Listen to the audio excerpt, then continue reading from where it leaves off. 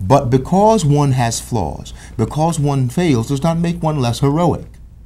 It perhaps makes them more heroic because we see in the face of their failings, in the face of their shortcomings, they still were able at moments to rise to pinnacles of greatness.